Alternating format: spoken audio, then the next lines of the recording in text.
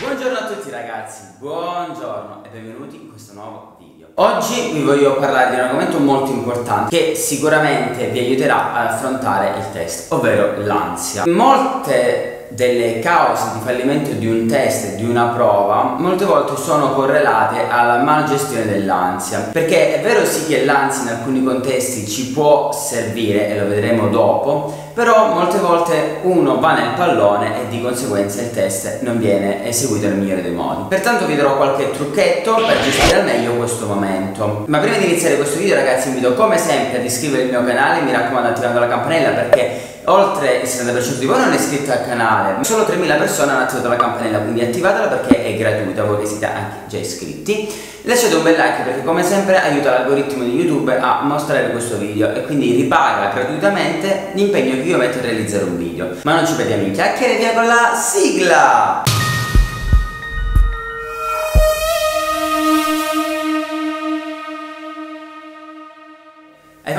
Hai studiato tantissimo per questo test, ti sei impegnata a fondo, hai fatto tantissime simulazioni, ma il giorno in cui arriva all'esame, quindi alla tua prova definitiva, senti il cuore battere a mille, ti vengono le vampate di calore, inizi a sudare freddo e la, la mente si dimentica tutto ciò che hai studiato. Ecco, questo è un chiaro segnale che stai avendo un attacco d'ansia. L'ansia da test dobbiamo dire che è un qualcosa che è comune, esiste eh, si presenta proprio nel momento in cui tu hai bisogno della massima concentrazione, ovvero quando devi fare la tua prova.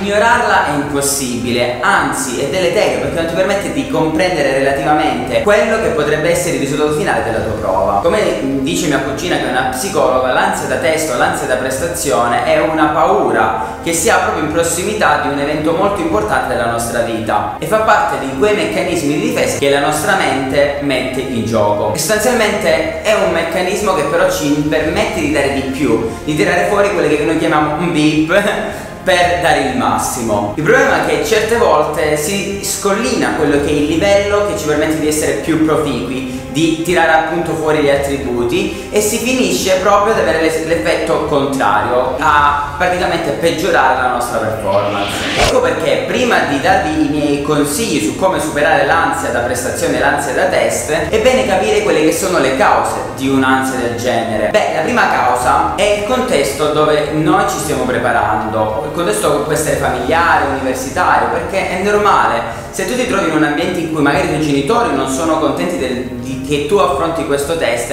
è normale che sentirai una forte pressione. Analogamente, se tu studi in un'università o comunque in un ambiente dove ci sono tante persone preparate che vogliono anche loro riuscire, ti troverai a doverti scontrare con delle persone che sono forti come quanto te. Un'altra causa potrebbe essere che hai bisogno di ancora studio, o meglio, la tua mente pensa che tu devi ancora continuare a studiare. Per questo comunque ho fatto una serie di video che trovate nella playlist qua sopra in descrizione ragazzi sul mio metodo di studio, su come studiare per prepararsi al test, quindi non abbiate paura, guardate quei video che sono dei consigli che secondo me vi torneranno sicuramente molto molto utili. Anche qui quindi il metodo di studio gioca un ruolo fondamentale, però pensate un po' che quella leggeranza, quell'ansietta diciamo, chiamiamola così, vi permette di studiare, di approfondire, di mettervi in gioco, mentre molte volte quando non si sente quell'ansia non affrontate le cose, ve lo posso garantire perché io studio soltanto quando mi veniva l'ansia per l'esame che ho detto oh mio dio non supero l'esame. E infine abbiamo i problemi psicologici, sulla questione dei problemi psicologici non entrerò molto nel dettaglio perché non è il mio campo, quindi lo lascio fare a chi è più esperto di me,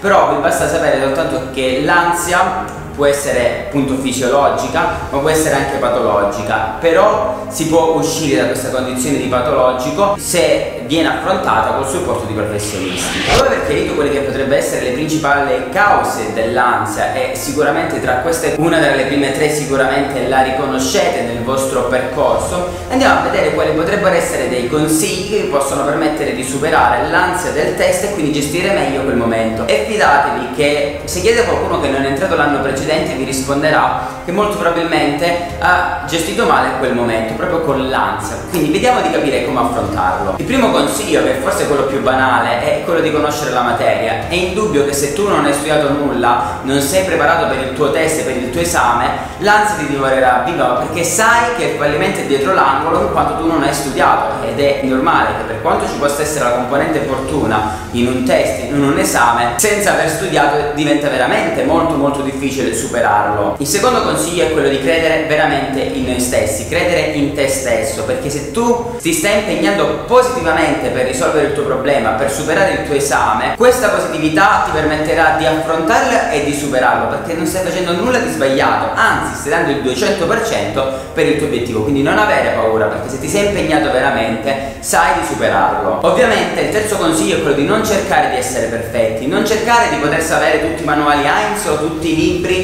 di preparazione al test di medicina o tutti i paragrafetti dell'esame, ma considerate che le nozioni sono tante e che quindi non potete essere perfetti. Già questo vi permetterà di dire ok, ho studiato tanto, so tanto, ma non so tutto, quindi speriamo che riesca a rispondere alle domande. Quarto consiglio è quello di trovare il tuo tempo, il tempo per rispondere alle domande. Sembra una, qualcosa di banale, ma prima di iniziare la tua prova Respira profondamente, perdi quel minuto che non farà la differenza ma la farà realmente in quanto tu riuscirai a concentrarti meglio, ad eliminare quella, quello stress, a riprendere le energie e poi metterti subito sulla prova. Non aprire, strappare tutto e metterti a rispondere alle domande con quell'ansia, ma respira profondamente, fai dei bei respiri profondi e affronta meglio la tua prova. Analogamente, oltre a respirare profondamente, trova il tempo di leggere adeguatamente le domande. Un approccio superficiale vi porterà a dare delle risposte superficiali, un approccio un po' più rilassato vi permetterà di trovare a fondo le risposte per le tue domande. Sesto consiglio è quello che gli psicologi chiamano rinforzo positivo, ovvero concentrati su quelle cose che sai essere il tuo cavallo di battaglia che ti danno quella sicurezza iniziale per, per poi affrontare quelli dove ti senti un po' più insicuro. Così è quello di silenziare, eliminare tutti quei fattori negativi intorno a voi Sicuramente il giorno del test sentirete quella persona che vi dirà ma guarda io mi sono preparato dal corso Pinco Pallino, ma guarda io ho studiato all'università di questo, quest'altro, io ho fatto questo, ma tu la domanda su questa la sai, quest'altra domanda la sai, questo vi proverà a dire oh mio Dio io non ho fatto questo, non ho fatto quest'altro, non ho studiato quest'altro, vi genererà all'interno di voi ulteriore ansia, voi disconnettetevi da questo mondo, non ascoltate nessuno, quindi eliminate tutti quei fattori, quelle influenze negative, ma mettete intorno a voi persone positive, magari qualche amico stretto che ha studiato con voi, magari qualcuno che vi rassereni, ecco, questo può fare veramente la differenza. Tra superarlo e non superare il test. E ve lo dico per esperienza personale, quante volte io dovevo fare un esame all'università arrivava il mio collega, oh ma tu l'hai fatto quell'argomento? Dicevo no, non l'ho fatto e andavo in, in panico più totale perché ho detto devo studiare, ma che devo fare? cosa faccio, non so che fare. La negatività deve essere eliminata in quel momento. Questo è un consiglio per i giorni precedenti. O meglio, affrontare i problemi. Voi sapete di avere un problema con una determinata materia? Cercate la soluzione, cercate aiuto nelle persone. Non vi nascondete, non lo so e basta. Studiate e se non riuscite con lo studio chiedete aiuto ai vostri genitori, a un vostro amico, a qualcuno, a un professore che vi possa insegnare quel determinato argomento o quella determinata materia. Solo così riuscirete a ridurre la vostra ansia, sapendo di aver fatto tutto il possibile. Quello che voglio dire è un consiglio anche di vita. Mantenete la giusta prospettiva. Come per me, anche per voi, questi test sono un tutto o niente. Cioè, se non entro a medicina, cosa farò della mia vita? Se non entro uh, al test SSM, non potrò diventare lo specialista che volevo essere. Sono sicuramente dei traguardi importanti della nostra vita e con questo non voglio dire che non sono importanti. Ma badate bene, cos'è importante nella nostra vita? Questo è l'1% delle cose importanti importanti che possiamo avere. Ci sono tante cose negative che ci circondano, tante cose che ci potrebbero attaccare e ledere la nostra vita. Secondo voi la salute di una persona a noi cara vale più di un test?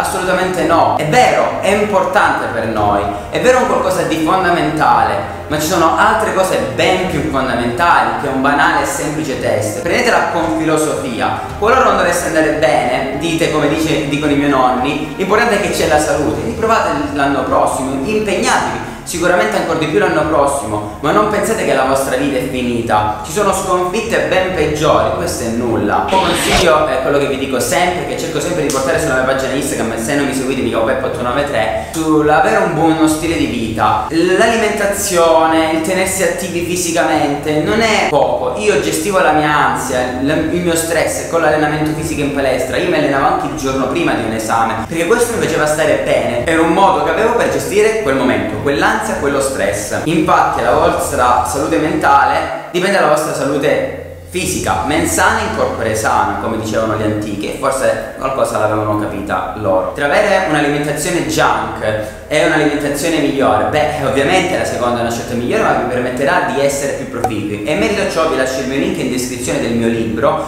dove con un collega, Federico Fusone, e mio fratello che è un personal trainer, abbiamo parlato di come gestire l'alimentazione e l'allenamento per studenti universitari, ma non solo, per studenti in generale, cioè come la dieta può modificare la vostra performance di studio. L'ultimo consiglio per chiudere, per gestire l'ansia, dovete capire che voi qualcosa, su qualcosa non sarete pronti, quindi vedrete un foglio bianco, una domanda che non comprenderete. Dovete avere il coraggio di andare avanti, di non incaponirvi su quella domanda ma andare avanti. Solo questo vi permetterà di dire questo so, questi sono i miei limiti, cerco di sfruttare al meglio ogni, ogni, centimetro, ogni millimetro della mia capacità, di quello che ho studiato e di quello che ho preso. E raggiungendo questa consapevolezza sarete sicuramente in grado di gestire il test. Ora ragazzi, spero che con questo video di avervi dato veramente dei consigli validi per gestire lo stress e l'ansia di un test così importante, test di medicina, test SSM, quello che volete. È sicuramente una prova fondamentale per la vostra vita, ma sono sicuro che con questi consigli riuscirete quantomeno a gestire il vostro stress e la vostra ansia nel migliore dei modi, ne sono certo. Mi raccomando, come sempre lasciate un bel like, condividete questo video, aiuta veramente tantissimo, iscrivetevi al canale, attivate anche la campanella, è molto molto importante, ve l'ho già spiegato il perché e noi ci vediamo nel prossimo video. Ciao ragazzi!